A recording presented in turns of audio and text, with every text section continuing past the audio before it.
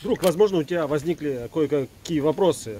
Допустим, э, зачем ты усложняешь, разобрал бы, укоротил провод э, и, и все заново собрал.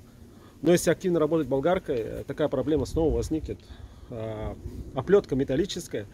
Если обычный провод он сразу свисает, то металлическая оплетка не позволит свисать данному проводу и перегибаться в самом слабом месте.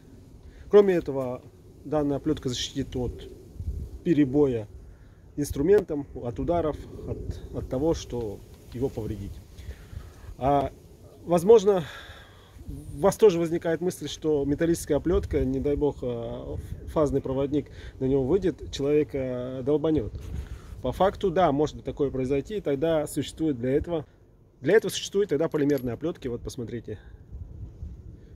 А, здесь и здесь а, из нержавейки обычно металл, а здесь просто э, леска.